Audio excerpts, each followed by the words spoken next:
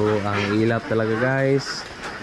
Kasi nga, kasi simula pa lang mangitlog nila.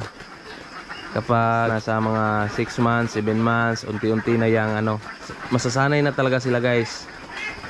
Kasi kapag galing pa sa grower stage, talagang maiilap guys kasi galing sila sa limit na pagkain. So, kumbaga hyper na hyper pa sila guys sa mga ganyang edad.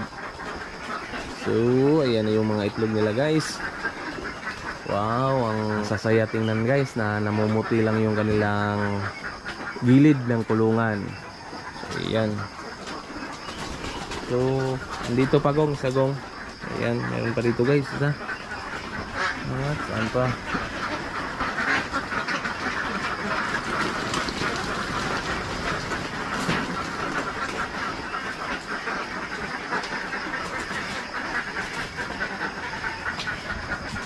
Yan guys, andyan sila nag Andyan sila sa kanilang tubigan kapag mayroong tao dito sa kanilang kulungan. So, lilipat tayo guys para hindi tayo makablabog dito. Dito na naman tayo pupwesto.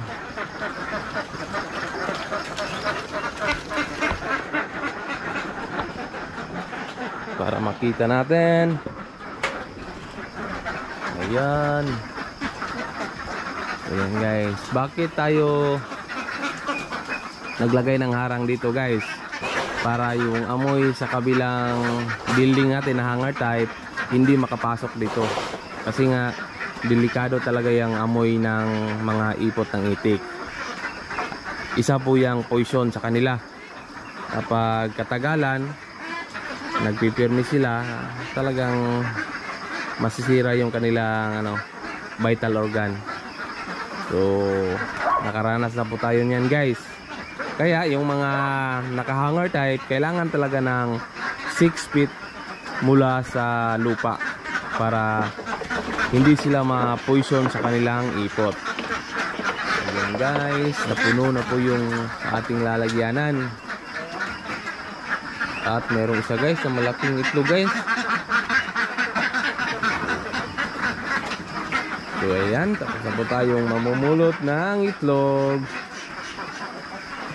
Dito guys, oh, kaya natin tinatabunan ng trapal ng tent para yung amoy ng mga ipot dito hindi makapasok sa ating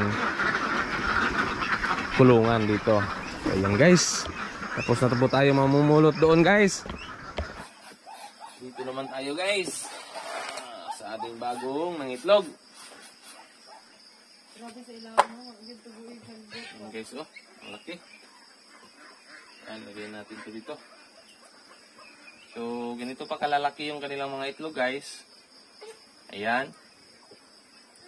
So, talagang medyo, ano pa, small size. Kasi nga, mga almost one month pa lang sila galing sa pangingitlog, galing sa first drop of egg. Ayan. Pataas ng pataas yung kanilang production guys at unti-unting lumalaki yung kanilang mga itlog. Ayan na po. So, na pong ilalagay sa egg tray. So, dalawa ang ating egg tray nito guys kasi nga iniwalay natin yung mga medyo mas maliliit pa sa small. Kasi yun yung ating ipapraktisan sa pag-i-incubate. Ating isasalang sa ating incubator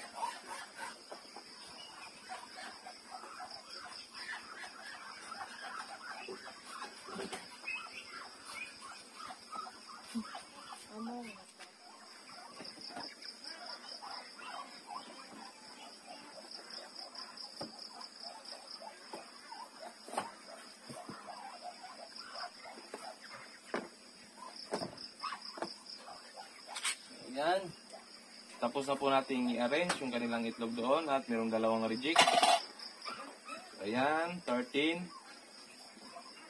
plus 1, 2, 3, 4. 4 na tray, so 120 plus 13. 133. 133 na po yung kanilang egg production doon guys. So, talagang paangat na ng paangat guys at palaki ng palaki yung kanilang itlog sa edad na 5 months and 3 weeks. Ayan. Dito na naman tayo mamumulot ng itlog sa ating 200 heads sila dito dati guys. So, ayan na po. Yan. Sila dito guys, nag-drop yung kanilang itlog. Tansya natin, sila po ay nag mamolting. Pangatlong molting nasa 16 months to 18 months. So, ayan na po yung kanilang itlog guys. Pero ngayon guys, unti-unti na silang bumabalik.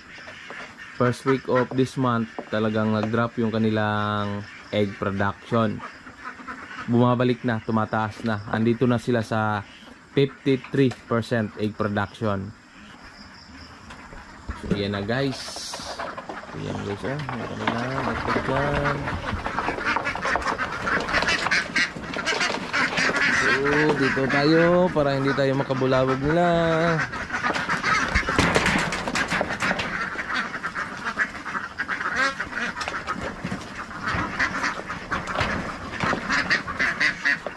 So, dito guys na mga itik natin, hindi sila naapektuhan sa pangalawang molting sa mga edad nila na 10 months to 1 year. Talagang ano, andun lang sila sa 60 plus percent yung kanilang egg production noon guys. So, kaya tayo namangha sa ganitong style ng kulungan na per box at lapag type malaki ang advantage sa kanila guys naka per box nakalap, nakalapag pa. So talagang iwas sila sa stress. Yan. Dito na naman tayo sa pangatlong box.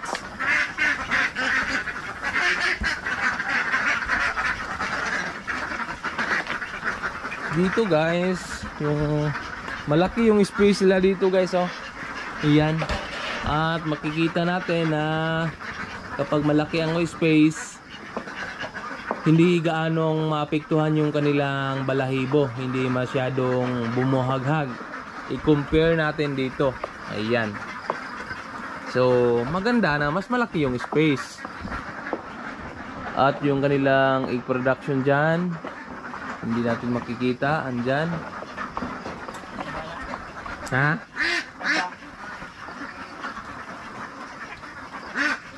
guys so sila dito guys. Ang bilang nila dito ngayon ay nasa mga ano na lang 150 female.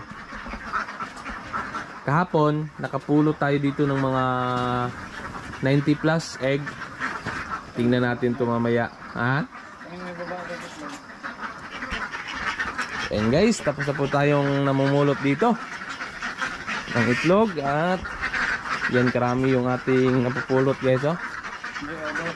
So, yan. Kaya. Yan guys oh. Marami. Sana paangat na din sila pabalik. So, yan na guys. Yung hanger type natin dito. Ayan. At yung kailang itlog. Yan. So talagang maliliit na lang talaga guys. Konti na lang yung kanilang income. Ayan.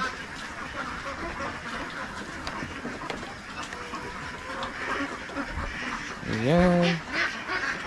Dito sa ating matatanda na batch. Ayan. Ang egg production. So, unti-unting meron pa naman silang ano guys, hindi pa naman sila break even. Hindi pa naman tabla-tabla sa kanilang pagkain. meron pa naman kahit konti. So, paabutin lang natin to ng mga 2 years siguro. Ang edad nila kung hindi pa kung drop na talaga ay magdidesisyon na po tayo ng kaling. So, ayan.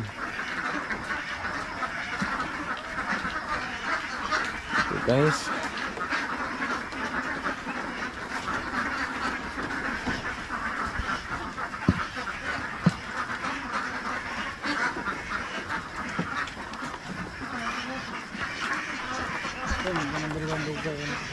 Hmm? Kung merong bago ko ng saka, Ah.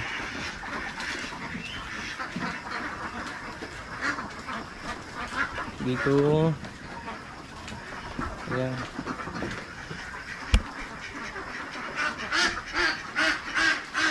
Guys, ito yung sa hanger type natin guys. Ito yung sa left side. At ito yung napulot natin sa right side. Ayan. Yan po yung mga itlog nila guys. Yan, tingnan nyo po.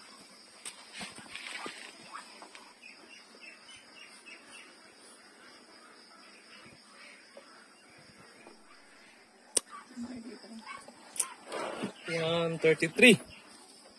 Yan, doon sa ating right side sa hanger type natin. 133 eggs. So, talagang drop sila doon guys. Yun guys, basta matatanda na na itik guys, talagang malalaki na yung itlog. Sila po dito guys, sa hanger type natin na doon sa left side ay mag 18 months na po yon. So, isang taon at kalahati.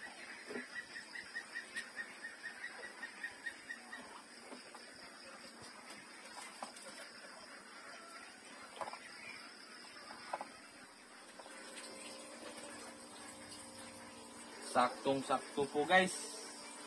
Walang labis, walang kulang. 1, 2, 3, 4, 5, 5, 3 po ang ating napulot doon sa kabilang side. Sa left side. Ayan. At wala pong reject. So, ayan po guys yung ating egg production ngayon. Yan po. At meron na tayong nailagay sa crate sa loob.